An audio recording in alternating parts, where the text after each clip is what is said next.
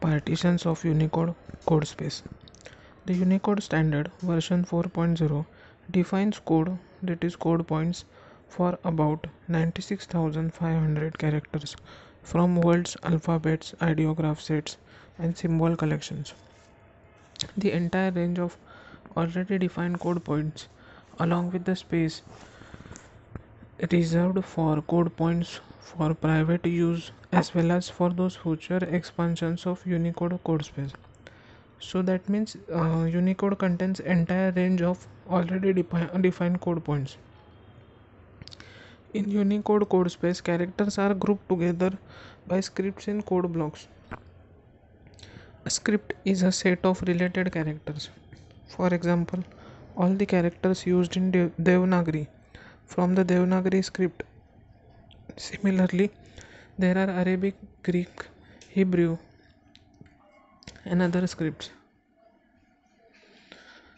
For example, the code block of Cyrillic script has 256 code points, while the code block for the combined ideographs of Chinese, Japanese, and Korean languages contains thousands of code points.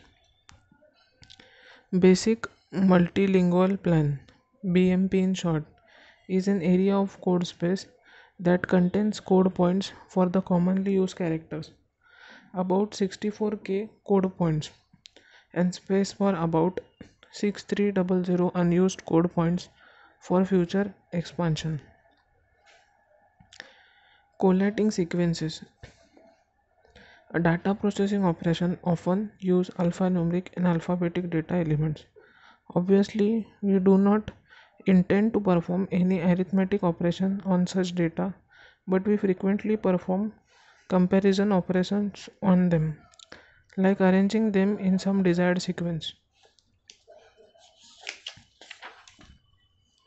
Collating sequence may vary from one computer system to another depending on type of character coding scheme that is computer code used by a computer